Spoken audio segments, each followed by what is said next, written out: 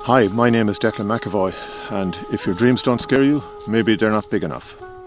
I'm riding on a frozen lake, can you believe it? We're in northern Finland, uh, just above the Arctic Circle. Uh, this lake, about maybe three kilometers, I started on the other side, and I have come up with this fantastic idea to ride across the entire length of Lake Baikal in Siberia. Uh, Lake Baikal is 780 kilometers long, and I have uh, gone into partnership with a very good friend we have assembled an international team and we're hoping to make a Guinness World Record. Uh, I tried last year and failed. Failure is good sometimes because it drives you to come back and do this again. Uh, it will be in Siberia, minus 30 in the daytime, maybe minus 40 at night time, 780 kilometers. Uh, the ice in Siberia actually sometimes it crashes in and to each other and breaks into plates and you have uprisings. You need an axe to get through, but equally in other places the ice is separating. Maybe you can have two, three meter gaps in this ice.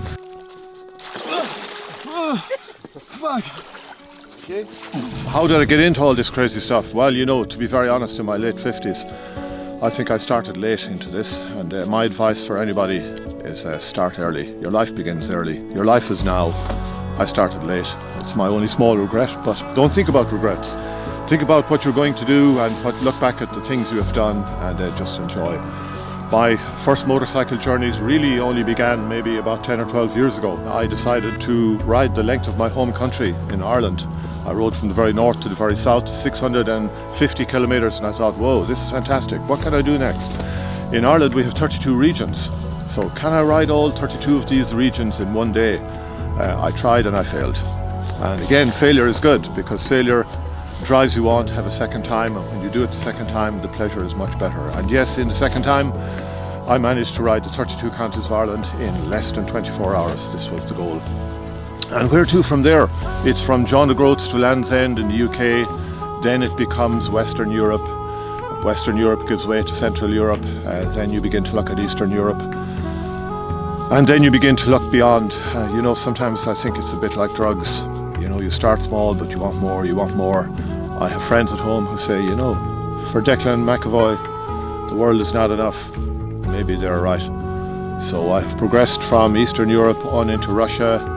Uh, now I have made a solo around the world motorcycle journey which took me through Istanbul and into Central Asia. through all the stands, a very, very colourful route. For me, solo is always important. If you do it solo, uh, you are the architect and you are the owner of this trip 100%. And this journey took me from Central Asia on through uh, Mongolia, Siberia, Far Eastern Russia uh, and towards Alaska.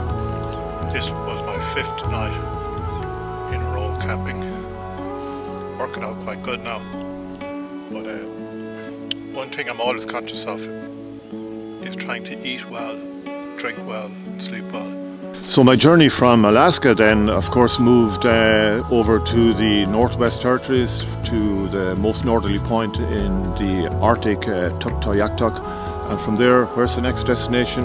Well it's got to be Ushuaia in the very bottom tip of uh, South America and uh, this journey took me down through Canada, United States, Mexico, all the Central American countries and all the South American countries, staying on the west coast of South America.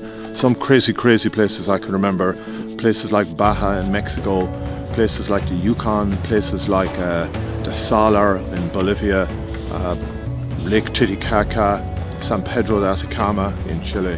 Fantastic places. You've just, you've got to do it, guys. From Ushuaia back up to Buenos Aires, Buenos Aires across Cape Town in uh, South Africa, South Africa then up along the west coast of South Africa to Gibraltar, into Spain and back home to my home in Ireland. Travel broadens the mind, travel is a university of life.